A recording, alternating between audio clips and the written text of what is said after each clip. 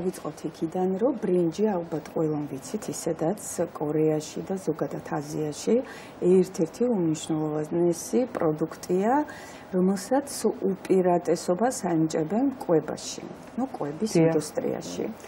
ისიც უნდა გავითვალისწინოთ, რომ ბრინჯის მრავალი სახეობა არსებობს, თითქმის 40000 სახეობა ბრინჯის არსებობს და მე რო დავიწყე ამის გრევა. მართლა, ჩვენ რაღაცა მარტივად თეთრი ყავისფერი შავი ვთქვათ, ხო? და თურმე არსებობს სხვადასხვა, ანუ აი ძალიან ბევრია. და რა თქმა უნდა უკეთესია ყოველთვის რომ ბრინჯი იყოს მართლა ნატურალური, იმიტომ რომ ჩვენ ინდუსტრიაში ალბათ ესეც იცით რომ ძალიან ხშირად სინთეტიკური ბრინჯიც ეყიდება და აქ უნდა ვიყოთ ძალიან ფრთხილად. როგორ უნდა მივხვდეთ ნატურალურია თუ არა ბრინჯი? დღევანდელ რეალობაში მხოლოდ ფასით ალბათ. რას ნიშნავს სინთეტიკური ბრინჯი? ანუ არსებობს ბრინჯი, რომელიც ხელოვნურად არის შექმნილი. ასეთი ბრინჯი როგორც წესით არის, ну ეხლა ეს იმას არ ნიშნავს, რომ რაღაცა კონკრეტულ პროდუქტზე ძალიან ფასი უნდა ავარდეს. ანუ შესაბამისობა უნდა იყოს, მაგრამ არსებობს სინთეტიკური ბრინჯი, რომელიც ხელოვნურად არის შექმნილი, ეს კიდე ცალკე თემაა, რომელიც კვებაში უნდა იყოს ალბათ სამომავლოდ უნდა გაამახვილონ ამაზე. და ქართულ ბაზარზე ხელმისაწვდომია ასეთი ბრინჯი და განსაზღვრული არ არის შეფუთვაზე, რომ ის არის ვთქვათ სინთეტიკური. არ არის გამორიცხული, იმიტომ რომ ამას ჭირდება კიდე ცალკე კონტროლი და ამას თუ ვინმე აკონტროლებს, კი რა თქმა უნდა. ძალიან საინტერესო და მნიშვნელოვანი ინფორმაცია და ჩვენს მაყურებელს მიმართავთ, რომ როდესაც დახლებთან მივლენ და ასეც აკეთებენ, მაგრამ მაინც ყურადღებით იყვნენ ყოველთვის უნდა დავხედოთ მეც ხო ხარისხი რა არის, იმიტომ რომ მეც ხშირად მიყიდია და სახში რომ მომიტანია და მე რეწამიკითხოს ზირთად ალბათ უფრო ბავშვების პროდუქტებზე ვამახვილებთ ყურადღებას. საინტერესოა მე მგონი მარიამ ჩიჩუა ყვავს ამ თემაზე მოსაწვევი და ახლა ნიღავს. ძალიან საინტერესო. გავაგზავნოთ ნიღაბი. თქვენ აღნიშნეთ იაპონია თქვით და ჩემი და 5-6 წლის განმავლობაში ცხოვრობდა იაპონიაში და სულ იმას ამბობდა რომ პური როგორც ესეთი პროდუქტი პრაქტიკულად არ იყიდვა. ყველაფერი მზადდება ბრინჯისგან და თვითონ იაპონელები ყოველთვის ამბობენ რომ იმიტომ რომ მათ აქვთ ერთ-ერთი ყველაზე კარგი კანი და თმა ამბობენ რომ ეს ყოველთვის დამსახურება იმიტომ რომ მათ კვების რაციონში არის ძილად ეხლა რატომ? იმიტომ რომ ბრინჯი ჯერზერთი შეიცავს ძალიან ბევრ ვიტამინს B1, B5, B6, ტოკოფეროლი, ანუ E ვიტამინი, ასევე მაგნიუმი, ცინკი, ეს ყველაფერი არის ბრინჯში. და თქვენ წარმოიდგინეთ, ახლა ერთია, როდესაც თქვენ კვებით ამას ხებულობთ და მეორეა, როდესაც თქვენ აწვდით ამ ყველაფერს კანს. რა თქმა უნდა, უკვე კონკრეტულ პროდუქტებთან, ინგრედიენტებთან შეერთებაში მისი აი ეს ფასი, მოდი ასე ვთქვათ, და შეღწევადობა უფრო იზრდება. რა თქმა უნდა, მომზადებასაც ნუ აქვს თავისი წესი. ეს არის ბრინჯის ფაუდერ, ანუ ფუნილი, ფუნილი, ფუნილი, რომელიც დღემდეულ ну აი მე აგროჰაბში ყიდულობ. მოდი არ დავასახლოთ კონკრეტულ კომპანიებს, მე ვიტყვი თუ არ იყიდება სახში შეგვიძლია დავქვათ და შეიძლება ხო? რატო არა? თუ ვერ ვქვათ, მაშინ შეგიძლიათ მოხარშოთ, ანუ ამის მომზადების წესიც ვიცი და კი, ამაზეც მოგვიყვებით. აბა მოდი ვთქვათ ბარემ თუ. ვთქვათ, კი ბატონო, ანუ იღებ იღებთ ბრინჯს, რაღაცა კონკრეტული რაოდენობა, ერთი ჭიქა მაგალითად, დაასხით ზუსტად ერთი ჭიქა წყალი. ეს ყველაფერი წამო, ანუ ჯერ ცოტა ხანი უნდა დაახუროთ ჭურჭელი და სადღაც 1 საათი დაგავიწყდეთ. მე 1 საათის მერე წამოადუღეთ და აი ეს ბლანტეს სითხე რომელიც იქნება, აი რომელსაც გამოყოფს, ეს ყველაფერი საცერით უნდა იყოს, აი როგორც ბავშვებისთვის რო ამზადებენ პროდუქტს, როდესაც ჟანკლავის პრობლემები ან რაღაცა, აი ეს ბლანტეს სითხე უკვე არის მზად იმისათვის, რომ გამოიყენოთ ნიღაბში. მაგრამ უკეთესია თუ ეს სითხე მე დაასხით ტაფაზე, ტაფა უნდა იყოს უბრალოდ ცოტა სქელი ძირით. და ნელა, ძალიან ნელა ხის ესეთი ჯოხით, კოვზით უნდა ესე აურიოთ, აურიოთ და საბოლოოდ უნდა მიიღოთ როგორც არაჟანი აი ესეთი კონსისტენციის მასა. აი ესეთი მასა თქვენ შეგიძლიათ ბოთში მე ან რამე კილაში გადაასხოთ, შეინახოთ მაცივარში და მე უკვე გამოიყენოთ შემდეგი ინგრედიენტებს, ანუ სულ რომ იყოს ძალიან ესეთი ფრეშ, ანუ ახალი. ასე დავამზადე. შენახოთ არ ჭირდება ასეთ იმ პროდუქტს. აი ხო გვაქვს ფხვნილი მაშინ. თუ გვაქვს ფხვნილი, ეხლა ნახეთ, ვიღებთ ერთ კოვს, ერთი სუფრის კოვზი. ასე. შემდეგ გვაქვს აქ თფილი წყალი, წინასწარ უკვე ჩასხმულია. და ვცდილობთ, რომ აა მაქსიმალურად გავხსნათ აი ეს აა მასა ერთგვაროვანი უნდა გახდეს, უნდა აურიოთ, აურიოთ კარგად. აჰა. და ეხლა აი აი ესეთი კი ყოველს გვაქვს სახში გვაქვს სირეზომის არ მაქვს მაგრამ პრაქტიკულია. რაოდენობას ამზადებთ შეგიძლიათ უკვე სათქვებით სათქვებით ათქვიფოთ აი ნახეთ რო ურე უკვე რაღაცნაირი აი კრემის სტრუქტურის ხდება ხო. სათქვისნება ესე კი ბატონო. ესე იგი, ნუ კარგად უნდა აურიოთ, ეს უკვე კარგად გაიხსნა, ამიტომ გავანებთ თავს. და შემდეგ სულ ცოტა ხნით ტოვებთ აი ეს დადგეს და დადგეს და დამშვიდებთ. ამასობაში ჩვენ ვამზადებთ ლაიმი, ანუ აქ უკვე გაწურულია. აა ოღონდ უკვე ჩაისკოვსი ლაიმი. ლაიმი რომ არ იყოს და ლიმონი იყოს. ან ლიმონი. ხო, აი ეს პროდუქტი.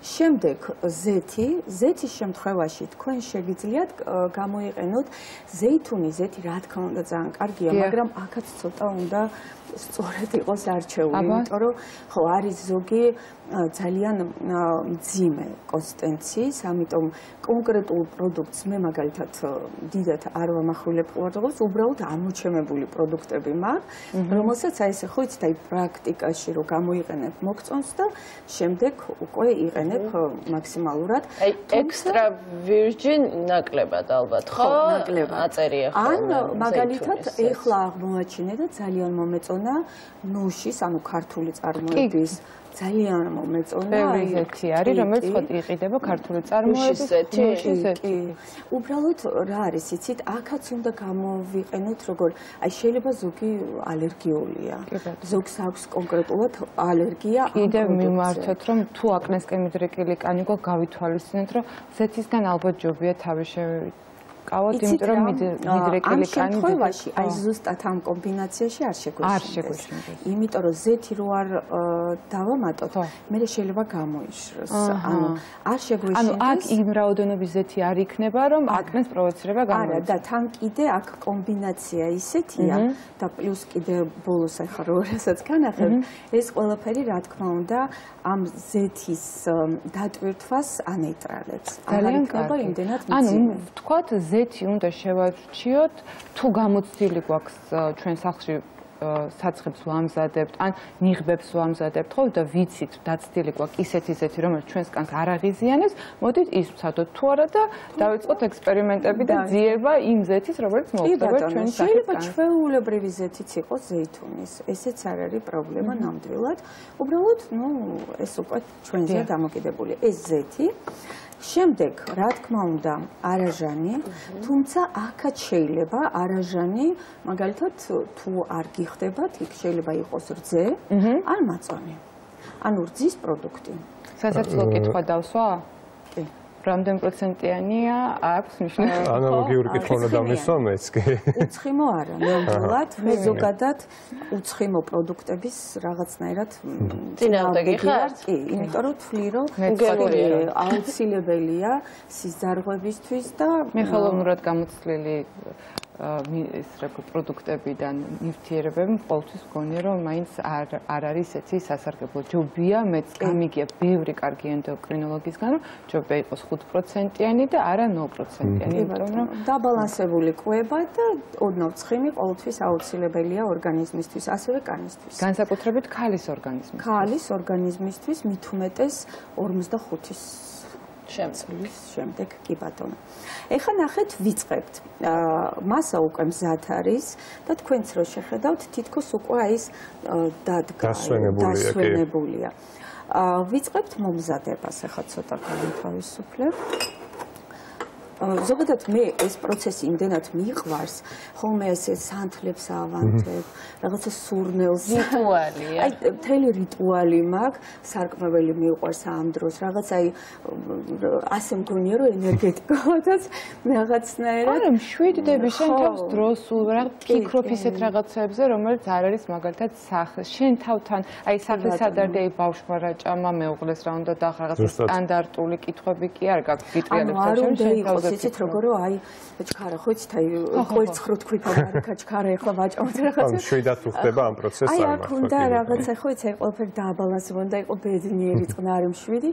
გამზადეთ ჯობია ხასიათი შეარჩიეთ. ერთხელ გამზადეთ დიდ კილაში მათ შუაში ინახება კი კი კი ინახება. სადღაც 1-5 დღე შეგიძლიათ შეინახოთ. თუ ხსნით კილას შეგიძლიათ თუ არ ხსნით უბრალოდ კილას ხშირად შეგიძლიათ უფრო დიდხანს ა და მე ერთ კარგ სასარგებლო რჩევას მივცემდი ჩვენს მაყურებელს. მე რო ფუნქციას თავის დროზე რომ როდესაც ნიღაბს თუ ასე დაამზადებ და შეინახავთ არაერთჯერად მრავალჯერად იმ მოხმარებისთვის ამოიღეთ სტერილური კოვზით იმიტომ რომ რამდენი ნივთი ეხება თვითონ საწყს ეს იქნება სახის საცხი თუ უბრალოდ ნიღაბი იმდენი თქვენ თითზე არსებული ბაქტერიები გადადის და ნელ-ნელა უფრო აფუჭებს ან უფრო მალე გაფუჭდება ვიდრე დრო უწევს ამიტომ ყოველთვის სტერილი სტერილი პროდუქტი რა თქმა უნდა ხის კოვზი აი ხლა აქ არ გვაქვს მაგრამ ზოგადად ყველაფერი რო კეთდებოდეს ხის კოვზი მინა და ხე. კი მინა და ხე ძალიან სწორი. ეხლა ესე კი ნახეთ ვიწყებთ. აქ უკვე გვაქვს ხო ერთი კოვზი არაჟანი დავამატეთ დავამატეთ. ბრინჯის ფხნილში რომელიც გავხსენით თბილ წყალში. ხო. და ვიწყებთ აი ასეთ არებას შემდეგ ნელ-ნელა აი არების პროცესში უკვე ვამატებთ ნელ-ნელა ზეთს ცოტა შაქარი და კრემი. აუ, ისეთი გემრიელია ზოგჯერ.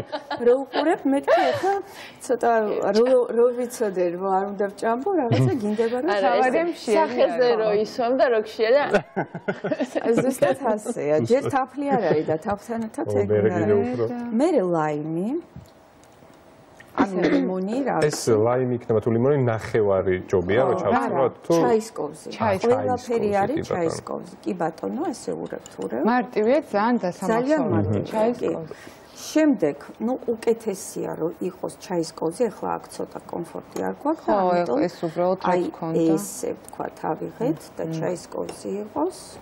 ამ ბრინჯის ფხმილის გარდა ყველაფერი ჩაისკოვზი დანარჩენი? კი, მარტო ბრინჯის ფხმილი. ურევთ, ურევთ, ურევთ. კარგად. თუ გვაქვს ვერ. ეს არის ჩემი მაგიური ზეთი, რომელსაც მე თვითონ ვამზადებ, თუმცა ნუ თქვენ შეგიძლიათ სახლის აბა ნუ უყვეთ მაგიური ზეთის თვისებები. მე საიდუმლოა, თუ არა? თვისებები არა, თვისებები არის, იცით, მე იცით ყველა რომ ჩემი მიმართულება მაინც სახის მასაჟია. აქედან გამომდინარე სახის სახელი და მეც თქვენ შესახებ შევიტყვე, ჩემი მეგობარი მიყვებოდა წლების წინ რომ აა სახის ტრანსფორმაცია მოახდინა. აი, ყოველს ვისაც სურვილი აქვს, რომ ყრიმალები ამოიყვანოს, სახე გამოკვეთოს, ანუ ხელით და სახის იოგით და ამ ვარჯიშებით უფრო ეფექტიანია, ბევრად უფრო მალე მიაღწევს შედეგს, ვიდრე ინექციები, რომელიც რიგ შემთხვევაში უფრო გავადრო და გაცილებით ადუნებს კანს. ადუნებს კანს. ამაზე ვილაპარაკებთ ჩვენ ყველაფერს დაგველოდეთ ახლა ნიღაბს.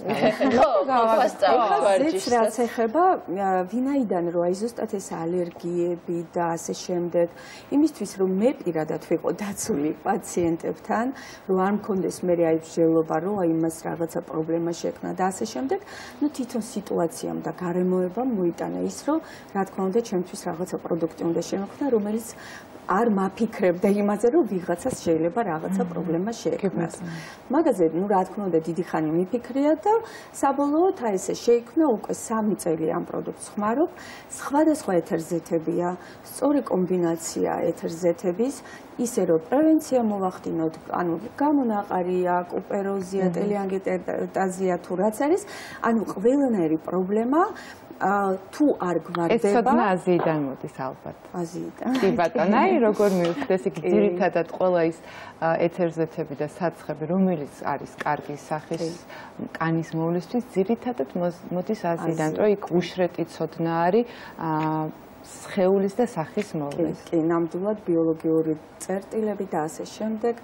მე ფსიქოსომატიკა ეს ყველაფერი ჩართულია ტანდემში და საბოლოოდ რა თქმა უნდა ანუ ნინუცამ რაც იკითხა ამზეც აქვს ერთგვარი ანტიბაქტერიული და დამამშვიდებელი მოქმედება.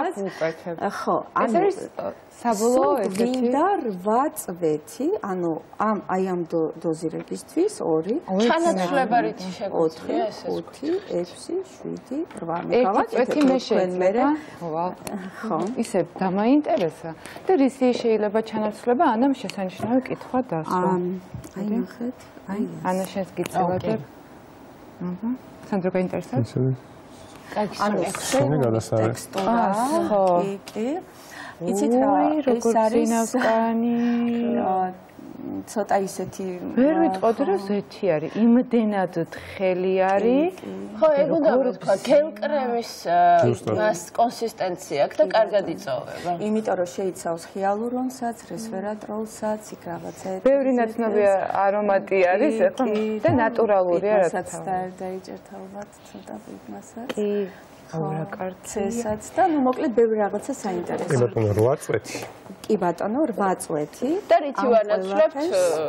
როდესაც არ გვაქვს თქვენი შექმნილი. ოდნა, აი ნახეთ, აი აქ, აქაც ჩემი რჩევა იქნება ესეთი. თუ პრობლემური კანია, თუ გამონაყარია, ერთი წვეთი ჩაის ხის ზეთი. აღარ უნდა მეტი არ ხის ზეთი. არ ვიცოდი ხო. თუ მაგალითად გამოფიტული კანია, ანუ თქვენ შეგიძლიათ თვითონ აბალანსოთ, აი როგორი კანია, ისეთი ეთერზეთი. უბრალოდ ეს ეთერზეთი უკვე უნდა გაიხსნას ზეთში, კონკრეტულ ზეთში, აი მაგალითად ერთი წვეთი ეს.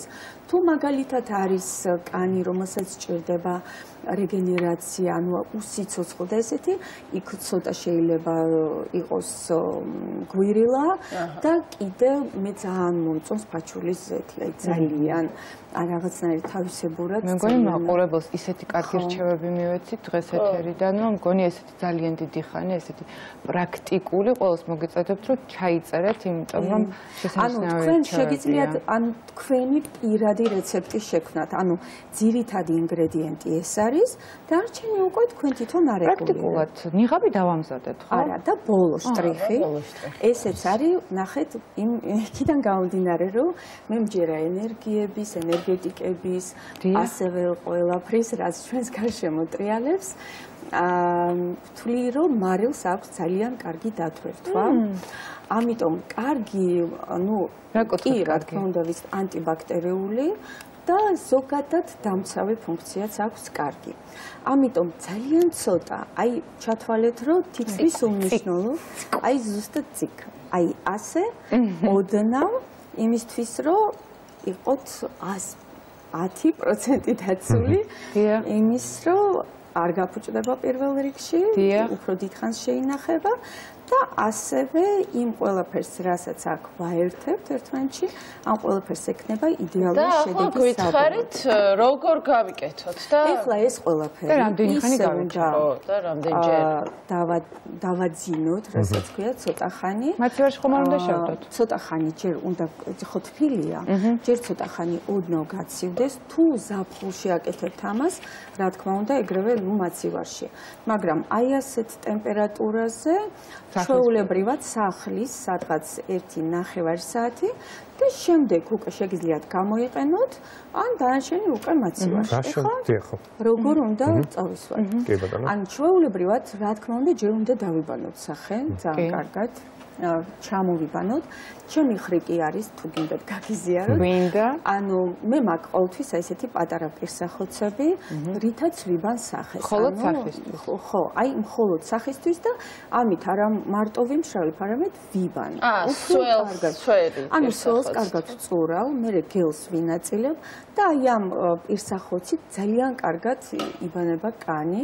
ჯერ ზერთი თვითონ აი ეს ნაჭერი ძალიან კარგია, მასაჟ მასაჟი მასაჟივით გამოდის სახის კანისთვის და ასევე ძალიან კარგად პირსახოცის ბუსუსები ერთგვარად მასაჟს აკეთებენ სახის კანის. აი უფრო ძველებური პირსახოცები თუ გახსოვთ, რაღაც ხვანიერი, გამორშალი რო არის. ხო, რაღაცნაირი თითქოს უხეში. აი ის უფრო კარგია, ვიდრე ეს ახალი რაღაცა ის მატერია მაინდა-მაინც არ მომწონს, თუმცა ნუ არ ვიცი. დავიბანეთ თავია იყოს. დავიბანეთ. შემდეგ თუ გაიკეთეთ მასაჟი სახის თქვენ თვითონ ან რამე ვარჯიში ძალიან კარგი რომელსაც ახლა გვასწავლით. კი ბატონო. სახის, ну, სახლის პირობებში, რა თქმა უნდა, ეს რაღაცა სამწუთიანი ძალიან კარგია რიტუალისტვისაც. შემდეგ ისმევთ სახეზე, ოღონდ მასაჟს თუ იკეთებთ, ან ზეთით, ან კრემით, ну, რაღაცით ხო იკეთებთ, თქვა, ან თუნდაც წყლით არ აქვს მნიშვნელობა. აუცილებლად მაინც უნდა ჩამოიბანოთ გრილი წყლით და შემდეგ უკვე გაიმშრალეთ სახე და იწყება უკვე ნიღბის წასმა. ოღონდ ხდება ეს ყველაფერი ფუნჯით ან ხელით და ქვემოდან ზემოთ. ანუ იწყებთ აქედან და ავდივართ ნუ ისერს მე ყოველთვის ვითვალისწინებ. ესე იგი აქედან ზემოთ, ზემოთ მოდის წასმა. შემდეგ უნდა გავყოთ სახე ორ ნაწილად. აქედან აქ, ანუ აი ესე, ესე, ესე, ესე ვისმევთ ნიღავს, აი გარეთ, გარეთ, გარეთ. კი ბატონო. მე შუბზე გადავდივარ? მე შუბზე ზემოთ. ზემოთ, ზემოთ, ზემოთ. ნუ იგივე აქეც, გარეთ. ვიწყებ ქვემოდან ნიკაბიდან, ანელნელა ავდივარ თვალ. ავდივარ, კი ბატონო. ჩერდები და მე ზემოთ შუბზე ესე ვისვენ. კი ბატონო. მე გადავდივარ. ხო. ცხვირზე აი ასე, ჩვეულებრივად, პირის გარშემო ესე, იმიტომ რომ სფინქტერ პუნქტია და პუნქტია ესე მგვალია, როგორც აქ აქ. აჰა, ეს. ხო, ხო მგვალი პუნქტია, აქენა გამომდინარე ესე მგვალად ისმევ. ბუნებრივად მივედით იოგასთან არა? და რამდენი ხანი ვიჩერებთ და გადავიდეთ იოგაზე? უკეთესია, რომ დაწვეთ და კიდე უკეთესია რომ ფეხები დადოთ ცოტა მაღალ ბალიშზე. და სისხლი წამოვიდეს. სისხლი წამოვიდეს და ამ დროს მუსიკა ჩართეთ და რა ვიცი თუ გინდათ სუბნელი და იყავით. იცით რა, აი ეს ყველაფერი გრძელდება სადღაც 20 წუთი. და ქალმა უნდა იპოვოს ეს 20 წუთი თავისთვის. ყოველ დღეს კვირაში ერთ. კვირაში. კარგი. იოგის. იოგის. ამდე ვერ გაგიშვებთ სტუდიიდან ყოველთვის დრო არის შეზღუდული, დრო გვაქვს შეზღუდული, მაგრამ იოგა არის ეს ის საშუალება. კიდევ ერთხელ გავი მიმართ მაყურებლისთვის, რომ ბევრი ქალი ცდილობს ასაკის შენარჩუნებას ინექციების მეშვეობით, როდესაც საკმარისია სწორი მოძრაობები ვიცოდეთ სახის, რადგანაც სახეზე ჩვენ გვაქვს ზუსტად ისეთივე კუნთები, როგორიც ხეულზე გვაქვს და თუ ვავარჯიშებთ სახის კუნთებს, ჩვენ გვექნება მუდამ ახალგაზრდული იერი სახეზე. მოდი დავიწყოთ რა ვარჯიშები შეგვიძლია გავაკეთოთ იოგის სახლში, იმისთვის რომ ანტიეიჯი, ანუ ანტიასაკობრივი პროცედურაც რომ იყოს ჩვენი სახისთვის. იცით რა, ვარჯიში არის ძალიან ბევრი და რა თქმა უნდა ახლა ამ მოკლე დროში ყველაფერს ვერ ვიზამ. ძალიან რთულია. აი ეს ადგილი არის ყველაზე აქტუალური მგონი. კი ბატონო. ამიტომ აი მე მოდით აი ესეთ რაღაცას რჩევის სახით ყველას ვეთყვი. რა თქმა უნდა ყველას აქვს თავისი რაღაცა რუტინა, რომელსაც ატარებს. მაგრამ ძალიან მნიშვნელოვანია როგორ იწყებენ ამ სისტემა თვითონ როგორ აქვს დაალაგებული სახის ვარჯიშის. ამიტომ ვარჯიში ყოველთვის უნდა იწყებოდეს სახის იოგის აი აქედან. აჰა. რატო? იმიტომ რომ აი ნახეთ ლავიცთან აი ამ ადგილში ჩვენ გვაქვს ესეთი რბილი ჩაღრმავება.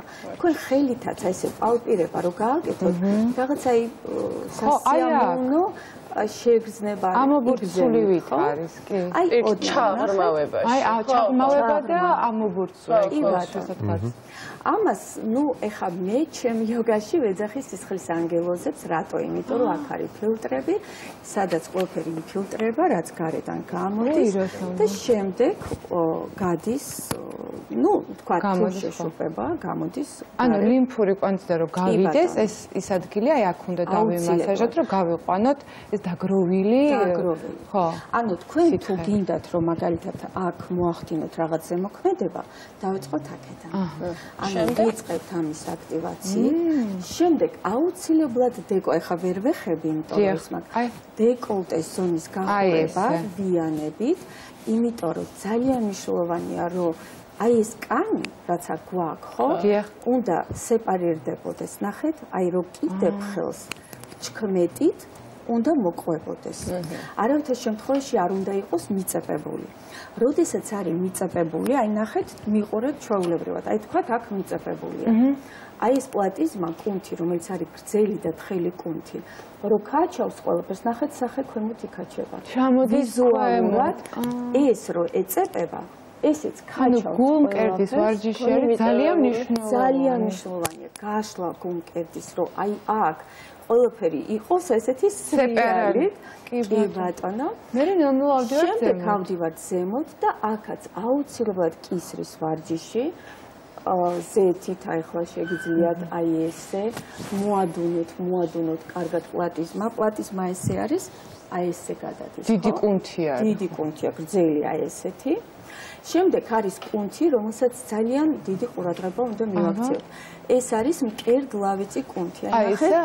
რო დაატრიალოთ თავი, აი ეს კუნთი, ნახეთ, კი ბატონო. ხშირ შემთხვევაში ეს კუნთი არის მიწებებული. და როდესაც არის ძალიან მიწებებული, შემდეგ უკვე აი ლიმფის განდევნა არის უფრო რთული. ამიტომ ვისაც აქვს მიწებებული არ შეგეშინდეთ, უბრალოდ ნელ-ნელა ნელ-ნელა უნდა დავიწყოთ ამ კუნთთან აი ესეთი მოძრაობა. მიწებებული გაქვს შენ? კი. არა, თათავში ჩვენს მიწებებული იყო ეს არა. ხო, აი ეს ძალიან სასიამოვნოა. კი, კი. ამისთვის არსებობს ცალკე ვარჯიში. ну ესეც რა ვიცი შემდეგ ალბათ მას უფრო მეტი დრო ჭირდება და აი მე უკვე შეგვიძლია გადავიდე. აბა 1-2 ილეთი გავაკეთოთ ახლა. პირველი ეს არის ღაბაბი, რომელიც ყოველს ისე გვაწუხებს. ხდება, ანუ უნდა დავაზეთიანოთ ხელი, მოვათავსოთ ნიკაპი აი ასე, პირდაპირ აი სახე უნდა იყოს დადებული ასე. ანახეთ და ვიწყებთ აი ესე ტრიალს. რას რას აი ტრიალს. ერთი აი თითქოს ნახეთ თქვენი ნიკაპი და ხელი თითქოს გინდათ რომ რაღაცა ის აი გვინდა რომ რაღაცნაირად ხო გავასწოროთ. ოღონდ ამ დროს ნახეთ ენა აი გადაყვაპეთ ნერწყვი. ენა რო ხო აიწია ზმა იყოს ესიაფონო ენა უნდა იყოს სასაზე მიდებული. აჰა არავითარ შემთხვევაში არ შეიძლება რომ ენა იყოს რაღაცა უაზრო თავისო ენა სასაზე. სასაზე მიდებული და აი შემდეგ თქვენ იწყებთ უკვე ამის მოძრაობას. იმიტომ რომ ენის კვეშა კუნთი აი ნახეთ ეს ენა კი ბატონო. აქედან არის კუნთი აქედან ქვემოდან დიდი კუნთი არის ასე ძალიან დიდი კუნთია ღრმა კუნთია და როდესაც კუნთი არ არის ანუ იმ ადგილზე არ არის ეს ორგანო ხო ჩვენი ენა, სადაც უნდა იყოს. შემდეგ უკვე ღაბაბი აუცილებლად რამდენიც არ უნდა ივარჯიშოთ, მაინც ქვემოთ ჩამოვა. რეალურად ღაბაბი ხშირ შემთხვევაში არის ენის გამო. ეს არის მიუნინგის მეთოდი, ეს ნამდვილად ჩემ გამოგონებული არის, სადაც იყო დამტკიცებული, რომ ბავშვები თუ დაბადებიდანვე ბავშვებს ვასწავლით ენის სწორ დგომას არასოდეს არ ექნებათ თანკბილვის პრობლემა და მით უმეტეს ბრუქსიზმიც არასოდეს არავის არ ექნება. უი, ეს არ უცხო. კი ბატონო. ეს ძალიან სერიოზულია. ზოგადად face gym და yoga ეს არის ჩათვალეთ, რომ სრული გაჯანსაღება ორგანიზმის შეგვიძლია თუ შევისწავლით ჩვენ ორგანიზმს სწორი მოქმედებებით გავაჯანსაღოთ სრულიად სისტემა. და რაც თავარია ძალიან ხელმისაწვდომი არის ეს ინფორმაცია ადრე არ იყო და ახლა რეალურად ყველა შეუძლია რომ თავის თავს შეისწავლოს თავისი ორგანიზმი და ამ პრაქტიკების მეშვეობით გაიჯანსაღოს როგორც ორგანიზმი ასევე ფსიქიკური მდგომარეობა, იმიტომ რომ იოგა ჩვენ ხო ვიცით რომ პირველ რიგში არის ფსიქოემოციური მდგომარეობას და სიმშივიდე მოაქვს ჩვენთვის და უკვე მე შემდეგში აჯანსაღებს ორგანიზმს სწორი სისხლის მიმოქცევა არის ნამდვილად გასაღები და თავისთავად ჯანმრთელობის და თავისთავად დაბალანსებული ყვება ჯამში ეს ყველაფერი გვაძლევს აი რასაც ჩვენ ვუწოდებთ ჯანმრთელობას და რომ მოგწონს უცხოელ ქალებს ძირითადად ბამ და უცხოეთში ქალები რა კარგად გამოიყურებენ ხშირ შემთხვევაში იმიტომ რომ ისინი აუცილებლად საკუთარ დროს უთმობენ საკუთარ თავს უთმობენ ბევრ დროს იმისთვის რომ ჯანმრთელობას მიხედონ.